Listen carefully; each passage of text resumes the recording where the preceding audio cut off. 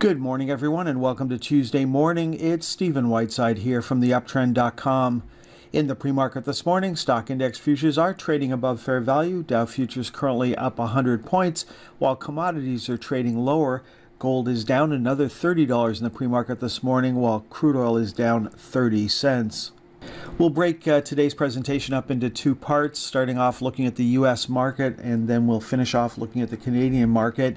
Uh, the VIX came down hard yesterday, certainly closed below the previous day's low, uh, trading right down into the channel. So on Tuesday, we're looking for a close on the VIX below 1627 to give us a new daily sell signal. What worked yesterday? Well, the chip sector was the big winner, but it ended up with an inside day, so really a day of indecision. Uh, after the uh, chips, it was regional banks, uh, the banks themselves, and then the uh, broker dealers. Those were the other big winners on the day. What uh, didn't work? Well, the Dow was up nicely yesterday, but didn't generate a buy signal, so traded right up to the upper channel line. We saw a lot of strength in some individual Dow stocks yesterday. Huge move up for Goldman Sachs. We had JP Morgan come back up and generated a buy signal yesterday. And then we had Procter & Gamble after generating a buy signal on Friday. It was up sharply on Monday. Procter & Gamble is not a stock that you usually see at the top of the uh, performance list, but uh, there it was on Monday and uh, coming up to uh, previous resistance, and I'm not sure it's going to be able to uh, break through that at the present time. Uh, looking at the S&P 500, we were talking about the 5,000 level on the S&P 500 and the $500 level on the SPY. Uh, the index itself closed just above the 5,000 level, while the SPY closed just below the $500 level. And uh, we certainly traded above that uh, during the day. We, we got up as high as 502.38 on the day, so uh, no buy signal there. Now, volume was very light yesterday, and you know, you can make a bull case, you can make a bear case based on volume. And what I mean by very light, if we go back to Friday's action, it was 102 million shares. Thursday's action was 74 million shares.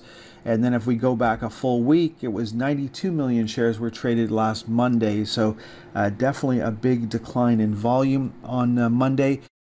So we won't know for a couple of days if the drop in volume is significant or not. Uh, so far, it's not stopping the market from moving higher.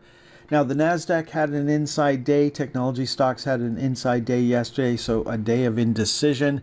Uh, the iShares for the Russell 2000 traded up to the upper channel line, so did small caps and micro caps were up on the day. No change in trend, obviously, for any of those areas of the market it certainly looks like we're still risk off right now, and you can see that uh, consumer staples continue to move higher. Of course, there's a difference between the products that you have to have and the products that you might want to have. And so, consumer discretionary was up on the day after making a new low yesterday. So, a big divergence there at the moment. That looks like risk off. And then we had money go back into financials, back into insurance companies, and uh, back into utilities utilities uh, moving up and uh, trading uh, just above the previous high. So that all looks like risk off to me. Then looking at the S&P Technology ETF, you can see yesterday was an inside day.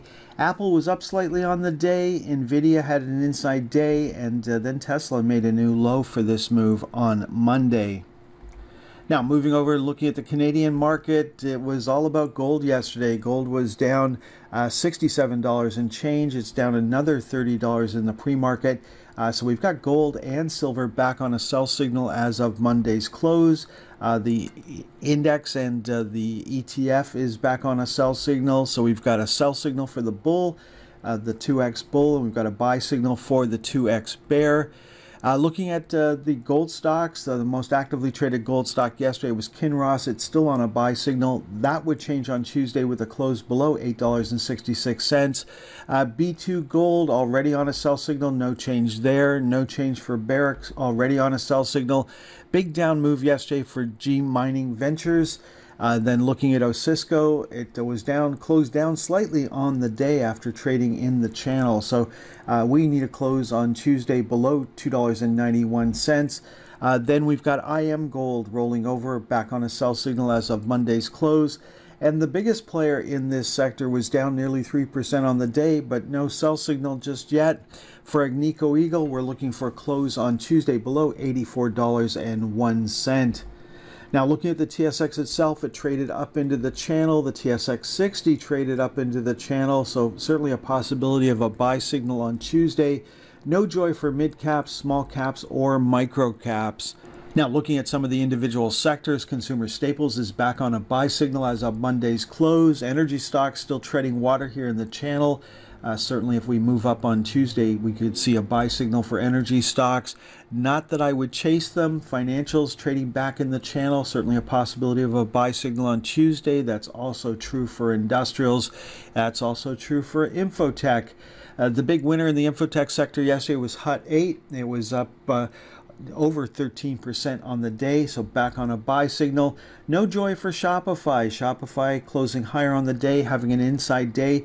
We're still looking for a close above $98.97 on Tuesday to give us a buy signal.